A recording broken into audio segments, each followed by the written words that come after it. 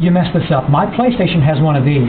and on Nintendo, we do this. Well, well, on the Wii, we could do this. And, and don't you think you could do one of those? And so they're really thinking out there, that Nintendo generation.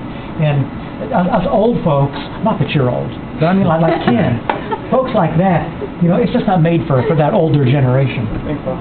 I would just out of the frag pattern, so. and so here we are. We're going to launch. I'll raise the landing gear. Uh, The, the ship obviously is right behind us, and on that screen up there, you can see we're the little airplane inside those concentric rings. The greens are friendlies, the whites are unknowns. Red would be conser- confirmed hostile. Uh, this is all unclassified, clear for public release. Which block standard does this represent?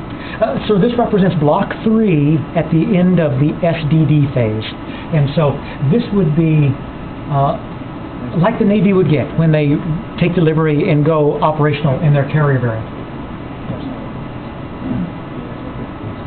I'm going to turn around and I'm going to have to, I'm going to switch to a B model. We wish the airplane could do this in flight. then we're going to dump some fuel. Hmm. You can see the fuel page there. It's in that magenta color. We're dumping fuel out, and it will only dump down to a pre-programmed level, so it won't dump out of any flame out. That would really be bad PVI on my part.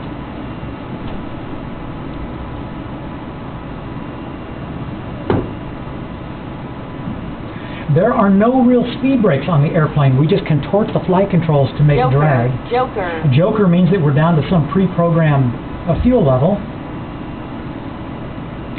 I'll lower the landing gear. There's that ship right there. And then I'm going to come do a 360 and then come back around and kind of line up. The airspeed is on the left, 245 knots. The altitude on the right.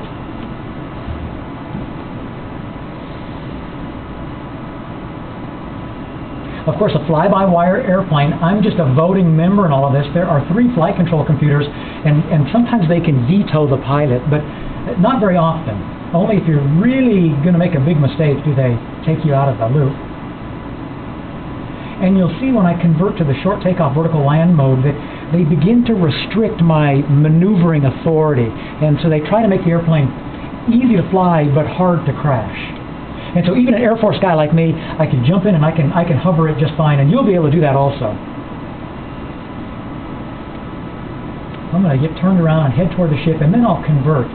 This button right up here, in the A model and the C model, lower the hook. In the B model, that's what converts it, opens the doors, and spins the lift fan.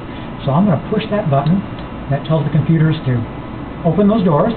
You can see the little airplane graphic down there, and what you're seeing is that we're demanding 49% of engine thrust, and the nozzle's 90 degrees of straight down.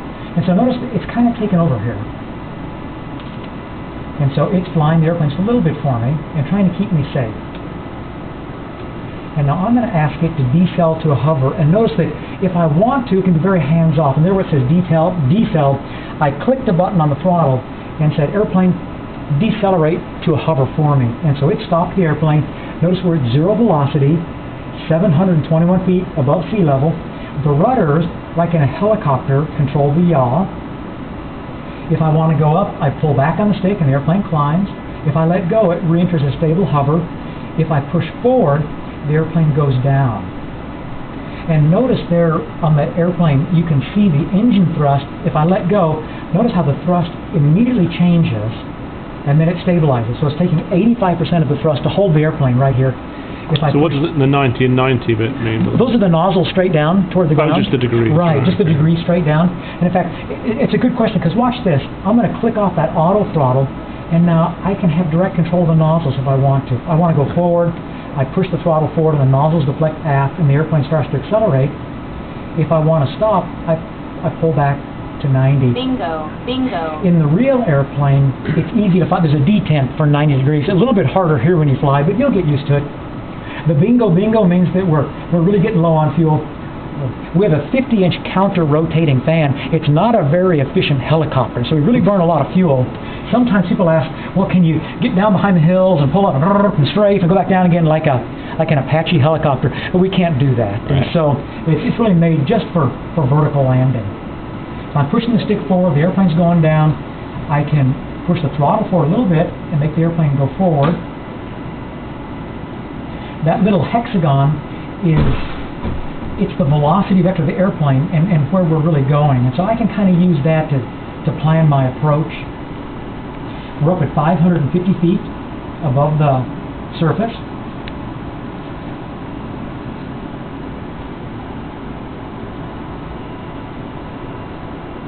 Have you heard about the distributed aperture system? That is, those are the six infrared cameras on the fuselage that, that look everywhere all the time. The, the sphere of infrared energy. One of the fallout capabilities is the pilot can look through those cameras, or I can put them on a display. And so I asked to look through the cameras looking straight down, and, and let me see, so I can see over the ship where I'm going to land.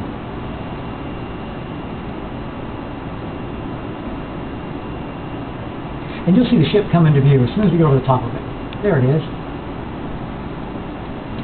And let's go back into a hover. I'll ask the airplane to decel.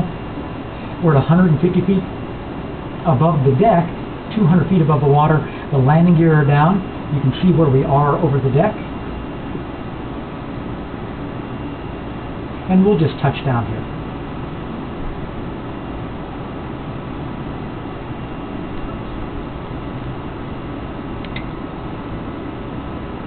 Can I